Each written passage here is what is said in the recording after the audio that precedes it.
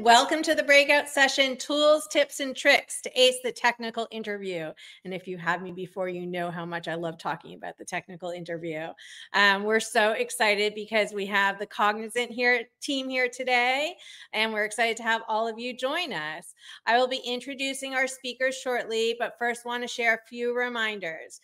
Please utilize the chat to have conversations and share your thoughts during the session. Please keep your messages relevant to the topic of the session and note that the presenters and speakers can see you in the chat. Um, any questions that you may have can be answered live, so put them in the Q&A section. Following the session, we ask that you complete the brief feedback survey. Your feedback is very important to us. And with the reminders out of the way, I'd like to introduce you to our speakers today who are presenting on tips and tools you need for interviewing success. Welcome, the Cognizant team.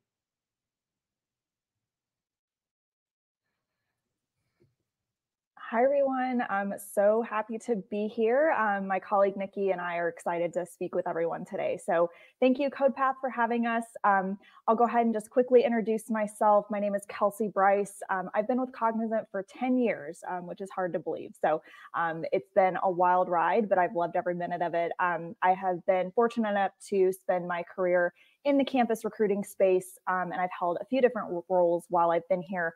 Um, I currently lead our um, early talent um, internship hiring. So um, I work very closely with Nikki to um, just run our summer internship programs along with some other um, early ID initiatives. So I live in Texas. I um, have been here for a long time. So if anyone's in Texas, um, nice to, to see some friendly neighbors. Um, but again, we're very excited to talk with you all today. And um, I will pass things over to Nikki for her to give an introduction. Hi, well, it's such a pleasure to be with you this afternoon or this morning, depending on where you live. My name is Nikki Crump. Um, I've been with Cognizant for about a year and a half now, and it's been an incredible year and a half. Um, I support our internship recruiting and our other early talent diversity initiatives. Um, I am currently based in North Carolina in the Charlotte area, um, and just really excited to have the chance to talk with you all today. So thank you. Awesome. All right. So we will go ahead and get into our um, subject. If we could please have the deck. Awesome. Thank you so much. All right. So, um, as mentioned before, you know, Nikki and I are going to talk to everyone. Um, just, you know, our tips, tricks, um, anything that we can kind of um, advice we can give to you all for acing the technical interview. Um, and we'll also throw in some stuff about behavioral interviews as well. Um, so we're just going to talk about uh, a lot of really fun stuff today. So um, buckle up and get ready to uh, go over the content with us. So um, just a quick agenda. So um, we'll be covering, you know, just basic ways to prepare for interviews. Um, we'll go over technical assessments, um, as I mentioned before, behavioral based interviews as well. Um, go over some best practices again, just from from our side of things, being in the recruitment seat, um, and then we'll open it up to Q and Q and A uh, towards the end. So that's kind of what we can expect during today's call. All right. So first, we'll discuss preparing for interviews, um, and you know, just these are again very specific to Cognizant. So these are just you know things that we advise. Um, you might hear something different from other employers, but again, this is just kind of what we suggest when going through interview processes. Um, so understanding the interview process is super important. So again, as I mentioned, you know, every company's process will vary, but here at Cognizant, you know, we really want to challenge our candidates to think about how they plan to answer questions. You know, think about what skills you um, and qualities and characteristics that you that make you distinctive. Um, you know, what have you accomplished, and what problems can you solve for us specifically, um, especially with the job that you're interviewing for. We recommend that you have thoroughly read the job description and understand what coding languages um, are needed, obviously specific to the job that you're applying for. And then um, practice, practice, practice is also super important as well. So as I mentioned, practice makes confident. Um, practice with a partner. You know, the more that you're able to, um, you know, speak out loud and kind of do these things with a partner, the the more prepared you'll feel. Um, and you know, as you're prepping for interviews, it's recommended that you research potential interview questions as well. Um, so for tech students, you know, this might be these might be questions related to the current technology trends um, that are happening out in the out in the world um, or various programming languages. Additionally, and this may seem like a no brainer, but review your resume and pick out those experiences that really align to the job. Make sure you can talk about those and just, um, you know, really uh, elaborate on those experiences. And then next, I want to talk a little bit about your elevator pitch. So remember, this should be no more than 30 to 60 seconds long um, really short and concise as much as possible. Um, the key things to mention during an elevator pitch are your name, your major, your career interests, and then what you hope to achieve, you know, during either an internship or full time um, relative to what you're applying for.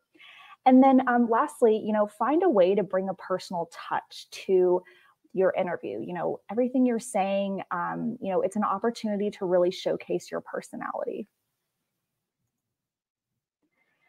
And so I want everyone to just take a second to think about, you know, what specific words are you going to use when pitching yourself in an interview? Some things, excuse me, some things to consider are, you know, what are you excited about right now? Is there something in the technology realm that really is just fascinating to you? You know, maybe you want to bring it up during conversations. Um, what do you want to do next with your career? It's always a really good idea to kind of think about these things before you are actually sitting in an interview. And then um, just something that we also like to tell students to kind of prep themselves when it comes to an elevator pitch is really um, thinking about the language that you use. So think about words that you're using to describe your work, um, not only in your resume, because that's also very important to kind of use these words for your resumes, but also how you speak to the interview about you know the work that you'll be doing what you've done so far. Um, you know think about how you can express your skills um, and using these words will really help you convey that. Think about adjectives um, action verbs you know that's super important um, around how you want to describe yourself um, and this will really help you kind of build your brand as well while you're while you're speaking to um, the interviewer um, just some words that I personally like to call out are productive, rational, responsible, results oriented, self starter, sense of humor, even um, sensitive, and strive for excellence. So, those are just um, a few, again, for, for my personal um, words that I like to use. And then, um, so here we have just some samples of elevator pitches in case maybe you're still kind of wondering, well, um, you know what does one what does it look like? What does it sound like? Um, so these are again just just examples um, that we feel like might be helpful. Um, so the first one is i'm a rising senior at the university of maryland baltimore county pursuing a degree in healthcare information systems.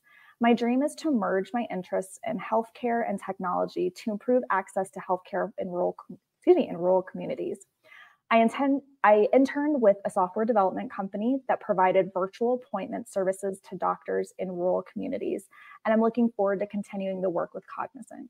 So I hope everyone can kind of see how that was a really good example of you know not only touching on your your background a little bit you know some of the things that that one's done um, you know in their previous internship and then just tying that into the work that cognizant does. So it's kind of a well oh, excuse me a well-rounded answer um, to kind of just be an elevator pitch.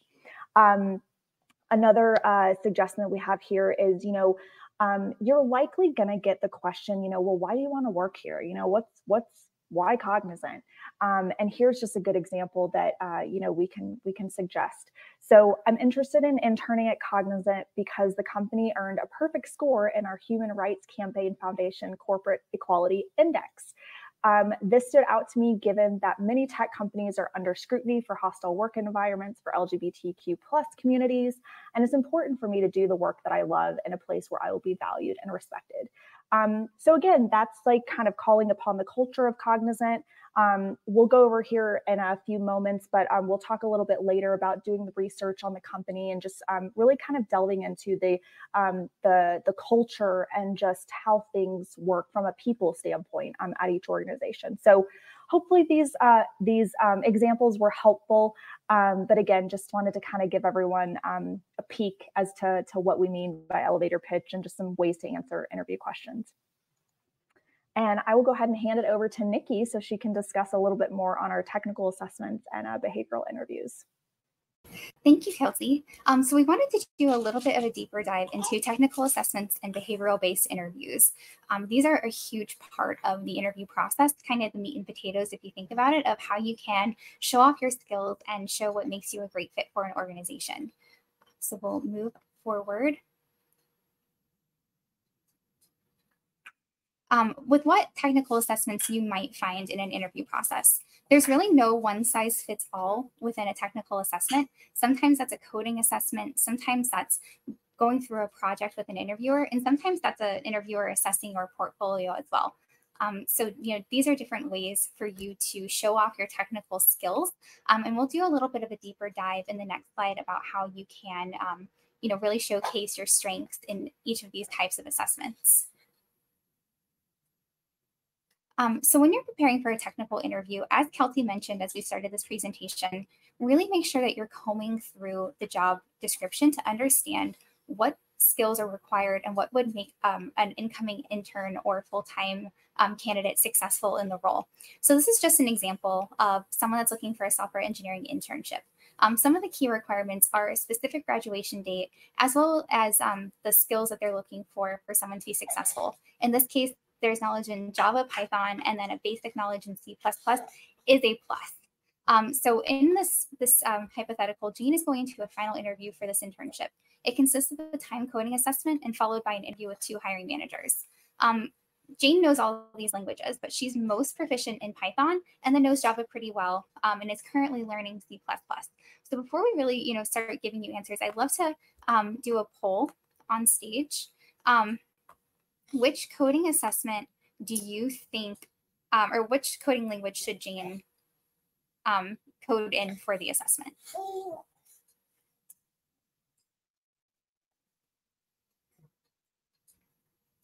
Got votes coming in. This is so exciting.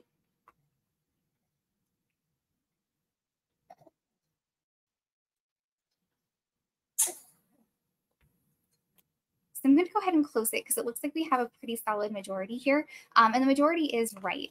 Um, we would recommend that Jane um, code in Python because that is the language that she is most proficient in. Um, so moving on ahead, um, these are just some of our tips for the technical interview. And the first really ties into that example, which go with what you know. Most coding assessments are often timed, and honestly, it's really normal to feel nervous in any sort of interview.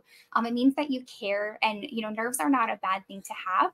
However, um, you want to put your best foot forward. And in this case, coding in a language you know means that you're going to have the most success in the the, um, the coding assessment. Um, so, you know, not trying to figure out things in a language that you may not be as comfortable in, even if it's listed on the job description, um, because you want to showcase that you're the strongest talent to fit this role. And so therefore, it's um, you know our recommendation that you code in the language that you feel um, the most confident in. Also, take an extra moment. Take a deep breath when you're encoding assessments, especially if um, you know there might be trick questions or things to, to you know gauge um, your comprehension, reading comprehension, and knowledge. Um, before you dive straight into something, make sure to take an extra second to um, you know read the answer, uh, read the question again, thoroughly understand every component. Um, for interview questions, use that same moment to ensure that you're fully understanding the question before you begin to answer it. So that way you're not having to shift gears mid-answer to cover the components of the, um, you know, the question that the interviewer is asking you. Um, that's really relevant to those um, project building assessments or when you're explaining your portfolio. Let's say um, if someone's walking you through a GitHub portfolio, um, truly take a second, take a, a deep pause, and then dive into your answer um, which actually leads us to our last tip for technical interviews, which is to communicate effectively. Regardless of the assessment that you're facing, there is always going to be um, that uh, an inquisition into your communication. Um, so in a coding assessment, even though obviously it's very technical, if you're able to communicate your thought process, that's really critical. Explaining your code um, and how you have gone to the decisions about what you want to code is really critical and can honestly make or break a hiring decision based on your communication. Um, even in technical roles, soft skills such as communication are key um, because, you know, should you land the role, whether it be an internship or a full-time opportunity, um, we're always working on teams and everyone wants to understand that you can be a team player and communication has a really big impact in that. So we will go on ahead. Um, and that honestly is a really great segue into our behavioral interviews. Um, it's, you know, can be uh, challenging to think about those behavioral interviews when you're in a really technical role. But again, um, hiring managers, recruiters, anyone who's interviewing you wants to see that you have the key um, qualities to be really successful on the team that you'll be going into, whether it be an internship or a full-time role. So behavioral interviews are here to assess past behaviors to predict future actions. They're meant to see how you may navigate situations in the role that you're applying for. Um, you can tell that it's a behavioral based interview question if they start the question with, tell me about a time or give me an example when. Um, so an example of a behavioral based interview question in full would be, tell me about a time that you had to work closely with someone with a working style that's different from yours. There's really no wrong way to answer the question if you answer it in um, whole, but we really recommend a great concise way to fully answer the question is utilizing the STAR or CAR format. Um, so it takes the past experience that you've had and it really breaks it down into a story so that the behavior, um, the interviewers can understand, um, you know, logistically where you started and what result was shown. Um, I know that's a lot to take in from a slide like this, so we've actually gone ahead and broken it down um, to the base components um, for you all to understand a little bit better. So what the STAR format is, is the situation, the task, the action, and the result. Um, the CAR format follows a really same principle, but um, it's the circumstance, the actions, and the results. So you describe the situation that you were given. You go into the tasks that you had to go to to solve the problem. What actions did you then um, utilize to solve that situation and task? But most importantly, what was the result of the situation? We want to further break it down a little bit for you um, with a true example. So star in practice. Um, you know, again, the, the purpose of this is to tell a story that's clear, concise, and confident that really showcases that you can take on any task in this upcoming opportunity um, and be able to utilize your your um, what you've learned up until this point, in addition to what you're going to learn in the role as well. So the STAR format has kind of that natural beginning, middle, and end. So we're going to utilize that same example of tell me about a time that you had to work with someone whose working style was different than yours. Um, in this case, um, and I know you all can read, so I'll give you a moment to read this yourself. Um, but this is someone who was on the exec board of a um, coding club on campus and, um, you know, working with someone that had just joined the um, exec board as well and wasn't maybe able to utilize some of the resources that they had to instill confidence in the club. So what did this president of the coding club have to do to make sure that the club had confidence in their exec board and that it was running fully in the future? So breaking it down of that example, the situation, someone just came in as the president of the coding club. When the board was first voted in, they were figuring out new responsibilities. Very understandable, um, taking on a new leadership opportunity um, the president, who's you know kind of that umbrella person of making sure that everything works together, um, learned that the treasurer was someone who tended to procrastinate, but ultimately still did the work that was needed. But over time, this started to impact other members of the club. The task was to sit down with the treasurer and understand how to approach um, this whole situation better. During this, um, the treasurer shared that he wanted to be better organized, so they came up with a game plan. And that game plan um, turned into the actions adding calendar reminders to the exec board calendar for that person specifically. Um, the result was that it took some time, as anything does, um, but once the treasurer was on the better schedule, all the club members had more confidence in the exec board that they voted in. So one thing to note is that the result can be a really overlooked part of the STAR or CAR format. Um, but the reality is that it's the so what.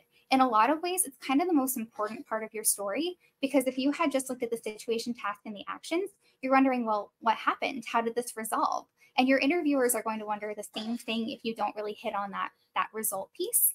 Um, but it really also needs the the star or the situation, task, and action to really understand the impact of the result as well. So they all go in together um, but it can be a little bit easy, especially when you're at the end of the story, to have that result sort of fall off, when in reality, that's what your interviewer is waiting for. So we're going to open up another poll. Um, would love to know which of these examples do you feel is the stronger example of someone answering a behavioral based interview question? Um, and we'd love to hear your insights in the chat as well if you'd like to share.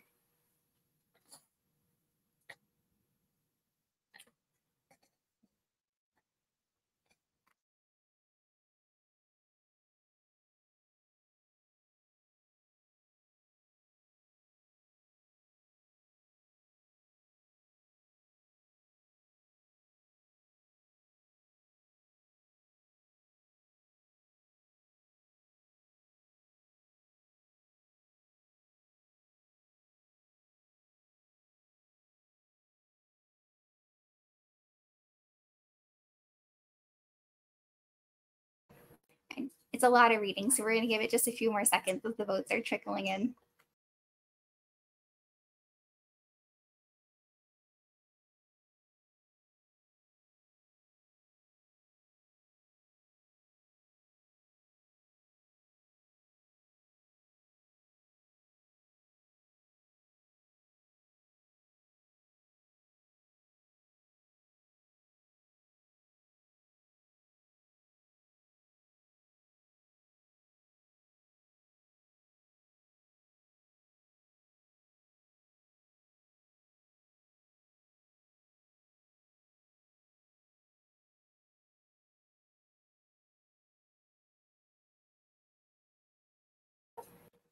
So we're going to go ahead and close because there's a lot of really great answers. Um, and, you know, all the, um, all, there's a lot of great answers coming in in the chat as well. So it is A. Um, this follows the STAR format a little bit better.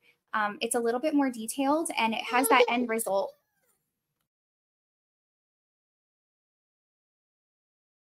Awesome. Well, thank you, Nikki, so much for going over the STAR interview process and then just um, elaborating a little bit more on the technical process as well, um, again, specific to Cognizant. So um, next, we just want to switch gears really quickly to um, overall best practices. You know, we'll really still focus on the, the interview piece, but again, we'll kind of give you some overall recruitment best practices that we like to, um, to share here at Cognizant.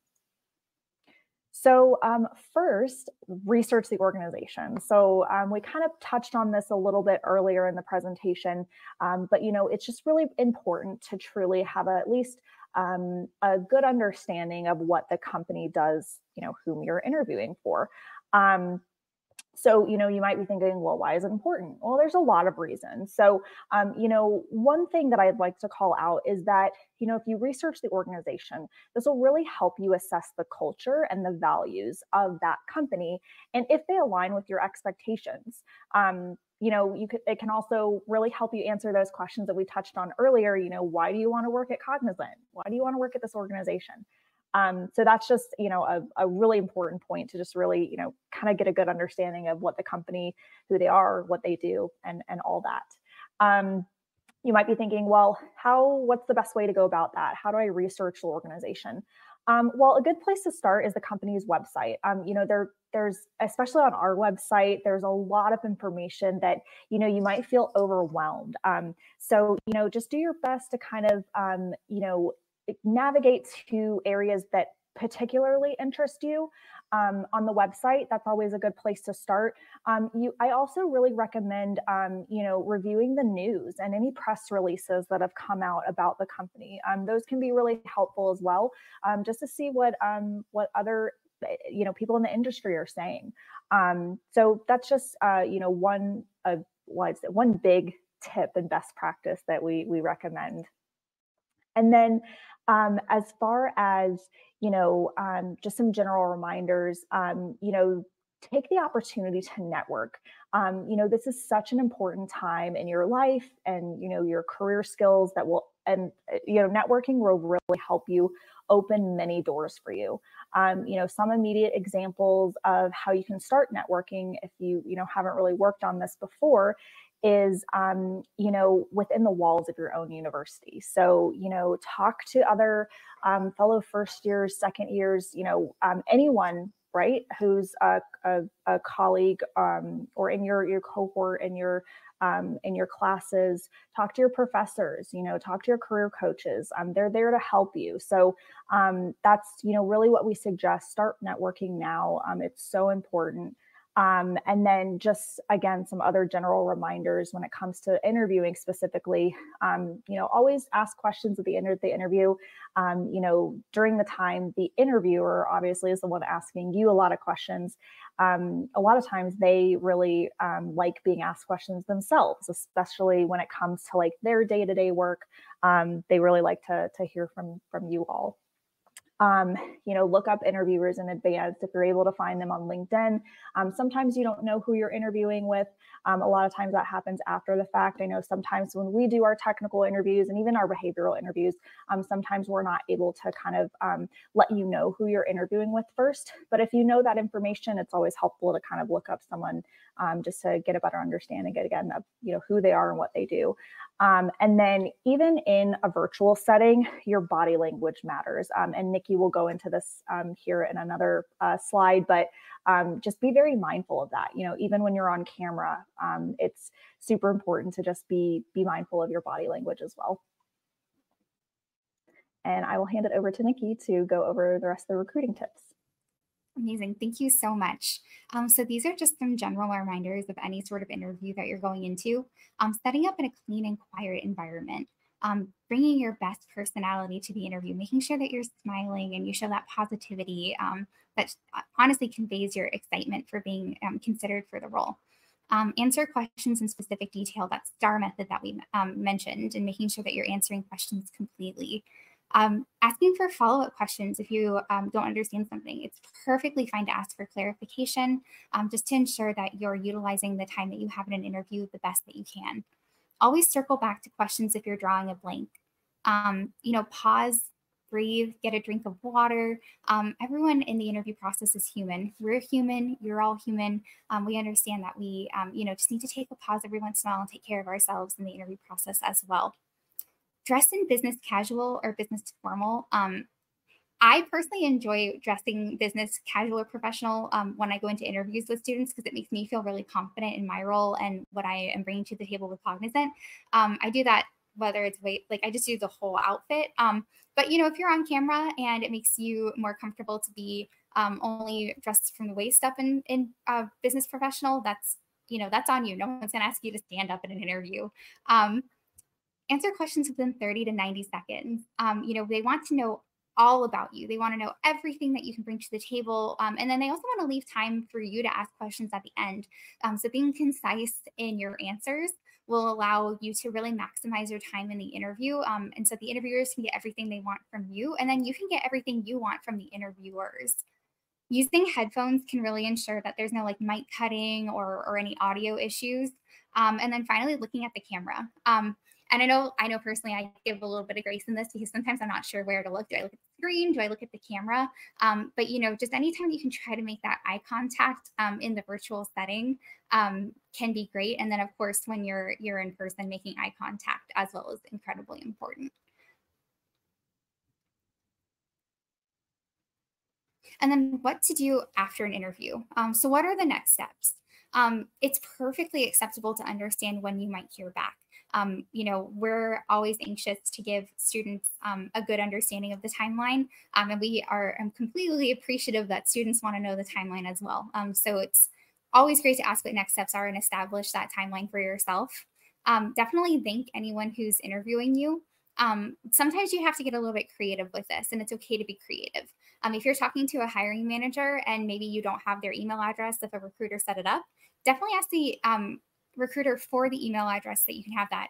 Um, otherwise, um, you know, sometimes in calendar invites, you may not think that you have the hiring manager's email, but if you look in there, you might find it.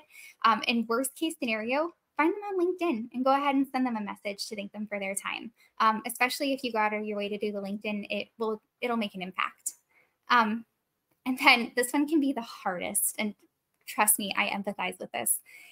You might have to just wait a little while. Um, and, uh, you know, go back to that timeline that you established with the recruiter. Um, give them to the end of that timeline. Something, you know, some things can happen. There might be, um, you know, a family emergency with the interviewer that might delay their um, decision a little while longer. Um, but when you get to the, the end of that um, timeline that has been expressed, that's a good time to do that initial reach out just to check in. Uh, follow up if necessary based on the timelines. Um, be persistent, but don't be panicked.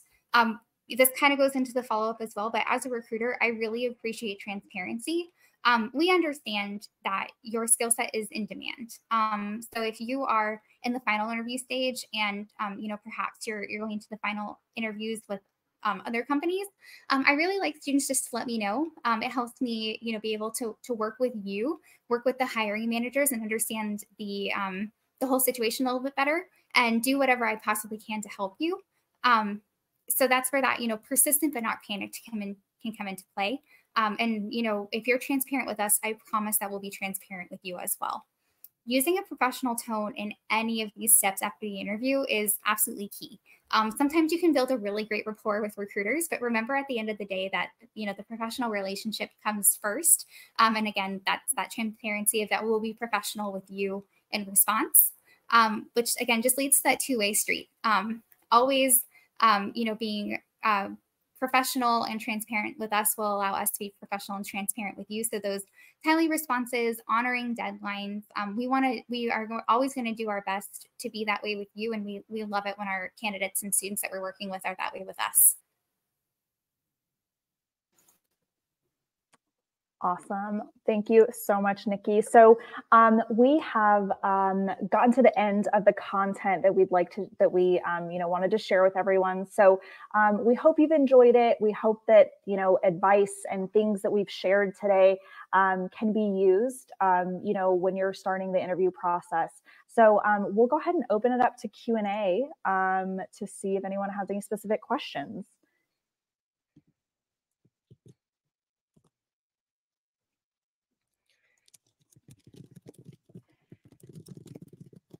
Awesome. Okay, so just give me a mo. Oh.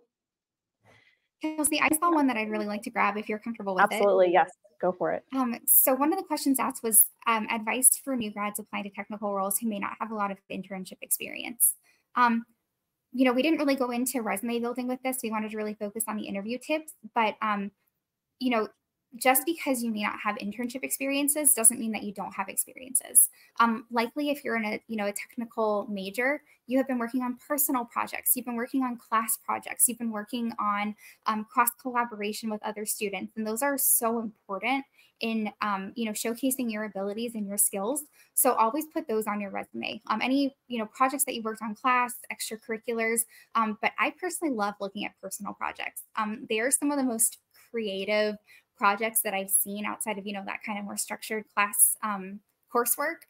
Uh, so all of those are so relevant to add if you are utilizing the skills that the opportunity you're um, applying for needs those. Awesome. I love that answer, Nikki.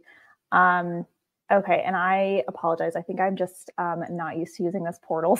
I love how you someone put up the the question on the on the screen, and that was super helpful. I don't know if that was you, Josie, but um, thank you for doing that. Um, okay, awesome. Oh wait, I found it. Okay, and Nikki, please chime in. Sorry, I'm clearly um, slow to. Do you want me to read the next question? Yeah, that'd be great, actually. Thank you. Yeah, no worries. No worries. All right. What's your advice for delivering an elevator pitch confidently and smoothly enough?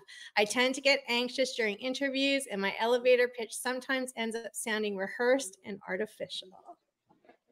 Yeah, I mean, I um I'll just kind of be very transparent with everyone here. You know, I get nervous too, even though I've been, um, you know, I've had this career for again over 10 years. Um, you know, I still get nervous, you know, when I'm trying to talk to people, whether it's in a presentation setting or, um, you know, when I'm delivering my own elevator pitch. Um, so, you know, we talked about, we talked earlier about, you know, practice makes confident. And I really like that term rather than practice makes perfect, because I do feel like, you know, if you, tend to, you know, practice, practice, practice, it does end up sounding a little bit rehearsed. So I think there's like a happy medium. Um, you know, my advice would be to definitely practice. Maybe instead of having a script, you know, have talking points, like have, you know, little bulleted point information like, um, you know, oh, I want to mention that, you know, this is my major. I want to mention that I've done this in an internship and this is how it relates to cognizant. So if you recall, um, I feel like the the example we gave earlier is um, is really good for an elevator pitch. It's like pretty short to the point, um, but it also kind of encapsulates everything that you know you want to get across to the person that you're talking to. So um, again, try not to be anxious. You know, try to think of it as a conversation. Um, you know, rather than something that again that you feel like you have to be um, really prepared for, if that makes sense. So hopefully, again, depending on the situation, you know, it can feel natural and just try to um, you know take some breaths. You know nikki said that earlier when you're preparing for an interview or any of these situations right? You know sometimes it's it's okay to take a step back and just you know breathe and kind of collect your thoughts. Um kind of a long-winded answer but um know nikki if you have anything else to add. That was perfect but um, i did just want to add one other thing too. Um if you're invited into an interview, chances are you've had a recruiter that has reviewed your resume and has seen something in your resume that makes them feel that you would be a great fit for the role. So when you're talking to recruiters, hiring managers, what that looks like, um, just remember that you were invited there. People want to talk to you, they want to learn about your background. You are a part of the process for a reason. Um, and my hope is that that makes you feel a little bit more comfortable that everyone there is rooting for you. Um, I've never met a, another recruiter, no one that I've ever worked with, or a hiring manager that wants a candidate to go into the interview to fail. Um, everyone wants you to succeed. Um, and a lot of times, you know, we, we do our best to make sure that you're feeling confident in the process as well. So um, if you can even look at it that, okay, I'm talking to a person I'm nervous, but they want me to be here. They want me to succeed. Yep. Um, hopefully that kind of quells some of the nerves. I love the suggestions. Yeah. Yeah so good. It's all, it's also great like if you're in the grocery store or an elevator or in lo- a queue at a roller coaster ride, give your elevator pitch to the person next to you, right? Cuz then the more people you do it to, the more you're comfortable with it. What do you think? Yeah, love that, Josie. Um that's so funny. I've never thought about in the grocery store store, but I love that. That's amazing. Like I might do that the next time I go. um awesome. Um, I have one, um, I think uh, one that has a lot of upvotes. So it looks like this is a question that a lot of people are kind of thinking about. Um, and it's Do you have any advice for new grads applying to technical roles who may not have had a lot of it? Did we talk about this one already? Oh my gosh, no, sorry, maybe we did. Um, did, did we did we do this one already? I think we did. Okay, sorry, it said unanswered, so I was like, oh, no, I think we um, did that one already. Here, let me read you the next question. Thank you. Um, does Cognizant use resume filter software? If yes, can you please explain what one can do to stand out and get their resume through the filter? Nikki, I'll let you answer this one because I think a lot of people are going to be surprised by our answers. Yeah, uh, we do not use resume filtering software. Um, so we hand look at every resume of um, students that are a fit for the opportunities. Um, and what I mean by that is, you know, with internships, um, we, we said at the beginning, we're looking for students that are graduating between um, December 2025 and 2026 for internship opportunities. So anyone that applies within that parameter, their resume will be um, considered for the internship, at least, at, you know, as far as looking over their skills and making sure that their experience is relevant. Um, I know that I've done this, and I know a lot of our team does this too. If someone applies and maybe they're not quite the right grad date, um, we always try to do an introduction to the recruiter that would be recruiting for the opportunities that they're looking for. Um, so, you know, our full time recruiters will sometimes see an intern candidate apply to the full-time roles and they'll pass them up to us to do an indirection. We do the same thing to full-time. Um, and then uh, for students that are maybe just a little bit early for our internships, um, we have a lot of programming aimed at students that are in the um, front half of their collegiate experience. So we always try to stay in contact for all of those opportunities too. So like, how long do you typically look at each resume? I feel like this varies recruiter to recruiter, but the national average is seven seconds. Seven seconds. So, what could, if you're not using a filter, what could somebody do to their resume that would make it stand out in those seven seconds? Kelsey, are you fine if I take this real fast? Oh, yeah, go for it.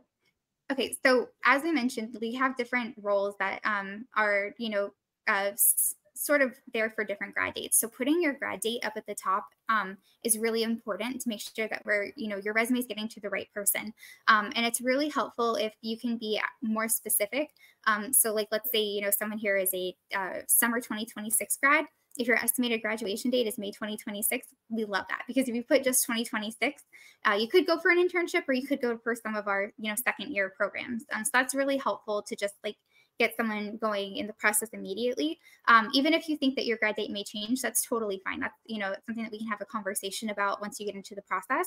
Um, but we really appreciate that. Um, education levels, things like that, like relevant skills um, are really great. So uh, I don't want to say that there's an absolute perfect way to do your resume, but typically having your education at the top, um, any experiences like an internship or, or part-time work can be really awesome um, and then projects especially in the technical space any projects that you worked in i know I, we kind of answered this in the first question but whether it's a class project whether it's a personal project anytime that you can show experience um, with anything in the technical space like that allows my brain to start thinking of where you might be a great fit the second that i look at your resume I kind of have this uh, answer, Kelsey. So if you want to add anything as well, please. No, you're good. Um, you answered it perfectly. I don't think I have anything to add. Um, and you're definitely it's been it's been a minute since I've been in the recruiter seat, so you're definitely probably better to answer that than I am. So. All right, let's go to the next question. What data structures should we focus on when it comes to preparing for tech interviews specifically at Cognizant? Yeah, I think this is a great question. You know, I it kind of comes back to it's pretty dependent on the role that you're applying for. But I would say that a majority of our opportunities um, have a focus in Java. Um, so that's probably the one like coding language that I would I would recommend that everyone kind of have at least a basic grasp on. Um, Python too, um, obviously because it's open source, but we um, Java's pretty widely used here at Cognizant. Again, just from the various project work that um, you know we tend to hire early career talent into. Um, that would be um, that would be one thing, Nikki. I don't know if you have anything else to add to that. No, I, I think that's um, I think that that's a great answer. Um, I probably should have said this a little bit more in when we were talking about it, but um, a recruiter should be able to give you a, a, a good grasp of what to expect in the interview process if you have that introductory conversation.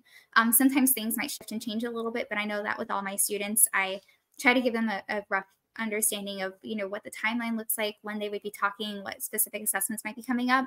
Um, so if you are in an interview process that kind of has a similar structure i think that this is a really great question to ask um, the recruiter that might have some more insight into that specific technical assessment of you know what does that look like? What to expect? Is it live? Is it asynchronous? Um, things that nature. It, i know that's not a great answer for the prep going into the interview process, um, but hopefully you should have someone that can give you some guidance before you get to that actual stage. Awesome. And remember, you always have the CodePath Mentorship Program that you can practice your technical interviews with. So, all right, let's go to the next question. There are many certifications out there and many mixed views on if it's worth it or not. Are there any certifications that could benefit in an interview or have on your resume? If so, what certifications are worth it for resumes and interviews? Yeah, I think this is another good question. Um, we do tend to get this one a lot. Um, there again for the opportunities that nikki and myself recruit for there's nothing specific that we're looking for students to have. Um, we more so focus on the technical skills part. Um, so exactly what nikki was just talking about in the previous answer to, the, to that question um, you know that's kind of what our recruitment team focuses on and a lot of times that's what our hiring managers are looking for. Um, again at this stage in your career um, again for you know most people who kind of fall into this early career talent bucket we're not really worried about anyone having any sort of certifications at this point all right next question. Um, given that Cognizant provides a variety of services to a variety of industries, how many employees assigned to projects in a way that how are employees assigned to projects in a way that matches their experience while growing their skill sets? Yeah, uh, another great. These are awesome questions, y'all. This is amazing. Um, so we, um, you know, Cognizant's a very large industry, uh, or excuse me, uh, we, we cover large industries, but we're a large company. Um, we have over 300,000 employees worldwide. Um, so our projects vary in sizes, um, you know, depending obviously what, what, you know, what you're doing. And so um, during the recruitment process, again, Nikki, I'm going to kind of go back to what you said earlier. I thought it was very well spoken. Um, you know, we as recruiters try our best to kind of, you know, fit you into a role that we feel that is going to align most with your skill sets. Um, obviously, we want to hear from you as well. You know, we want to know what you're interested in. We want to have a better understanding of like where where you want your career to go. So it's really important for you to continue to having these like these open conversations with your recruiter um, leading up to you know meeting with the business unit. Um, as far as like continuing your growth while you're in cognizant and like you know kind of moving project to project um, that's something that's very doable here. Um, and so we have a specific group um, talent supply chain that kind of looks at um, you know skill sets of individuals um, and like helps place them on various projects if they need openings so um, we work very similar to a lot of other consulting firms that that do that. Um, I hope I answered that question. Nikki, I don't know if you have anything else to add on that. No, I think that was I think that was really great. Agreed. All right. What advice do you have for new grads not hearing back after they apply? Yeah. Um, you know, I again from the recruiter seat, um, you know, we try our best to let everyone know, you know, if they've moved forward or not. Um, you know, we get a lot of applications, um, sometimes in the thousands, right? And so, you know, we are very fortunate that we have a lot of interest in our roles. And so, you know, I would encourage you if you've been working specifically with a recruiter um, to, again, keep in touch with that recruiter. You know, if it's kind of been out of that window of time that Nikki was referring to earlier, um, you know, after the interview process. If it's been more than the allotted time that you spoke to the recruiter about, um, definitely follow up. You know, it's it's okay to follow up. Um, it's a little different if you and I apologize. I'm not sure if this is this question specifically for after the interview process or oh after applying. I'm sorry, I can't read. Um, sorry. Um, yeah, so applications, um, you know, our team, we try very hard to, again, let everyone know if they're, you know, selected or not. Um, we also, um, I like to think that we kind of make ourselves available even at the point of application. So again, if you have a contact, whether it's, you know, ideally on the campus team, you know, again, reach out. it's okay to, you know, ask, hey, what's the status of my application? You know, a lot of times um, we'll host like various information sessions or even, you know, this event through CodePath. You know, we, we we're kind of gathering interests and, you know, going to encourage people to apply. And so you'll have, you've met Nikki and I. So like, um, that's a great opportunity to kind of, you know, again, just like reach out and um, ask for updates. Um, I know it's probably not like the perfect answer, but um, it's, that's just my thought on it. Can I tag something on Absolutely. advice? It doesn't quite answer the question, but um, I'd love to share some of my personal experience too. Um, so, some, uh, I guess it was November of 2022. Um, I was looking to make a career change, and I saw the posting on LinkedIn for the campus recruiter position with Cognizant, and I was like, you know, looking through the job description and decided like, okay, I really want to do this. Like, this is this is for me. I really want this. Um, so I went ahead and I filled out the application, but I also found on LinkedIn um, one of the recruiting managers who tended to seem to engage a lot with candidates.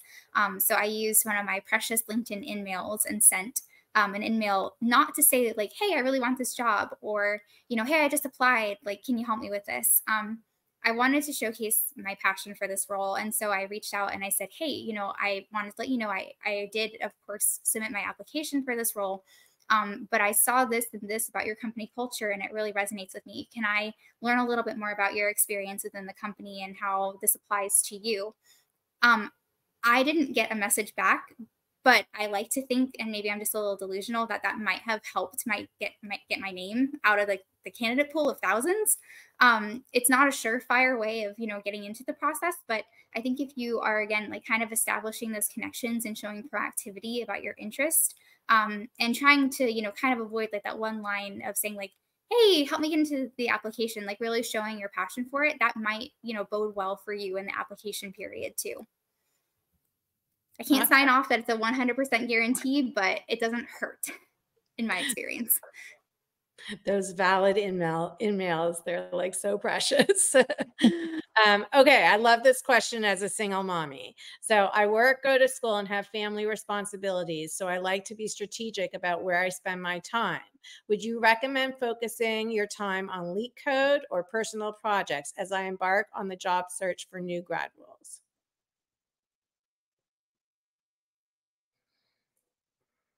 Nikki i might punt that over to you. if that's all right. Yeah, no, that's that's perfect. So I think it's really hard to answer this like definitively um, about what would be be better. I say that in my opinion, personal projects give you more um, experience um, and it's something tangible that you can put on a GitHub, um, you know, portfolio or you can showcase on your resume. Um, I think focusing time on LeetCode definitely helps like really enhance your skills so that if there is a live technical assessment, um, you're able to kind of like really breeze through that better. Um, so I think it's up to you. If you feel really confident in your portfolio and what you have done um, as far as like building up your your technical capabilities, that might be a great time to spend some time on LeetCode and you know again like get a little bit proficient um, you know, just straight coding. Um, but if you feel like you want to explore or new learn, like new learn, excuse me, learn new coding languages, like if you want to pick up a new coding language, or if you want to dabble in, um, you know, something that's online that you can work on as a personal project to help bump up your experience. Um, I know this is kind of a cop out answer, but I think either are, are great. It just depends on what you need to feel like you can get your foot in the door better. Kelsey, I don't know your thoughts on that answer, but I'd love to. Yeah, no, I, I think everything you said, um, I agree with. I think um, it's it's kind of whatever you know. Eh, yeah, whatever you feel that is, you know that that you'd like to focus on. Um, but yeah, I mean, it's. I do agree with Nikki about like the personal projects being tangible. I think that you know hiring managers like to see that especially um, at this point like for an early career talent like if this is your first job that you're you know applying for if this is kind of how you're getting your foot into um, you know your area of your career. So um, but uh, you know i agree i don't think there's a there's not a right or wrong answer here. Go with your gut exactly All right. How do you assess a candidate's potential for growth versus their current skill set when hiring for an entry level tech position? Yeah. Um, could you put that up on the um, screen if you're able to? Sorry. That's okay. I'll read it to you again just while Amy's doing that. How do you assess a candidate's potential for growth versus their current skill set when hiring for entry level tech positions? Yeah, um, you know, one of the things that I love so much about working with um, individuals who are either still in school or about to graduate is that um, more often than not, like y'all are so eager, which is amazing. You know, you're always you have an appetite to learn, um, and I think that's super apparent when even you know having conversations like before you're starting the interview process. Um, you know, it's um, that's how I personally like I can kind of, you know, you kind of hear all this stuff about, oh, you know, how um, you can tell like within the first few seconds of speaking with someone, you know, if it's going to be a good conversation. Um, so that's a lot of times, again, like how I can gauge, like, oh, based on, you know, what this person is telling me and about their experiences, like they're teachable. Um, you know, even though they have these um, experiences, like which is which is always great, especially if it's academic experience.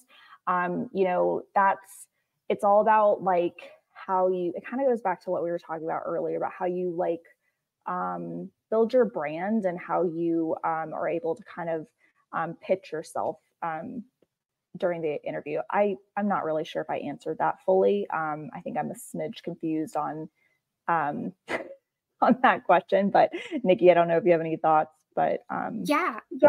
Um, and one of the other things too is that the next question kind of ties into this as well. Um, so the next question is what kind of questions um, would you should we ask um, to hear? Um, so to something that helps me assess like a candidate's opportunity for growth um, in relation to their current skill set is the questions that they ask the hiring managers at the end of the interview. Um, if they are really hungry and want to learn more about the company, um, you know, if they talk about growth opportunities, like what's the next step after the role that they're currently interviewing for, um, if they ask questions about like how can they upskill themselves, um, things of that nature, that shows me that that's a a, a, candidate that's not just happy with being where they're at they're always looking for that next opportunity. Um, so that's something that i know that personally like i and a lot of hiring managers are really always um, excited to hear about because it means that the candidates seeing themselves in the company and seeing themselves growing in the company. Um, so yeah uh, so this the second question about what kind of questions like that's a really big indicator to me about future growth potential in relation to where a candidate's currently at. Um, yeah, sorry, I didn't mean to jump ahead, but I thought that it, it was a really great transition into that.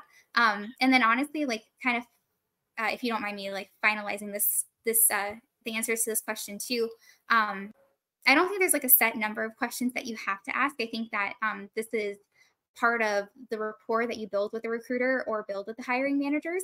Um, so the questions that you ask, um, you know, should be uh, honestly just uh, really organic. Um, you can definitely, you know, pre-plan some, such as like, you know, the timeline questions, um, you know, what role, like kind of maybe clarifying his role responsibilities, but just allow yourself to organically jot down questions as you're going through the interview process to show that you're engaged with the interviewers and that you're really engaged with the time that you've spent with them. Um, but again, always great to ask those growth questions at the end too. Awesome. All right, we have two more minutes. So, one more question. What's your view on candidates who have taken non traditional career paths or have gaps in their employment history? This question is super relevant for me um, because we actually, um, uh, earlier this um, spring, we have started, I say we, like the campus recruitment team has started working with our workforce strategy team to build out a program specifically for individuals who have taken non traditional career paths and who have gaps in their employment. So um, we call it Cognizant Skills Accelerator. It's essentially a Java skills programming course. Um, it's, I think, nine weeks long. Anyway, it kind of leads into an apprenticeship, but essentially, yes, if you fall into this category of having a non traditional career path, um, we absolutely would love to hear from you. Um, I'm happy to tell you more about kind of what the opportunities are. Um, it's a little different from our traditional campus recruitment. Again, it's more so um, we have an apprenticeship program, so it's it's just kind of a different pathway. But um, absolutely, the main thing though is like um, again, the technical skills are super important. So um, even if you have just like a basic exposure to Java, um, that's that's great. You know, we we can put you through this program um, that gives you more of that upskilling um, that will further prepare you um, to be on the path of an apprentice. So again, just kind of a different um, pathway. But if you're interested, you know, feel free to reach out to me. I'm happy to talk more about it. Well, sadly, we've reached the end of our session. I can't even believe it. We'd like to love to thank Kelsey and Nikki for joining us and for giving us an engaging presentation and discussion. Please drop your appreciation in the chat. And if they have a company booth, we encourage you to go visit them during the networking break. To close us out, we'll now go to a brief video from our host, Bobby D. Thank you for joining us in this session. I got some information before you leave. It says, please take a moment to complete a brief survey to share your feedback. Remember how valuable feedback is. I'm trying to come back three years in a row, and it's all based on feedback, right? to see what comes up next, I want you to head back to the main stage and check out the schedule. See you soon in the next set of sessions.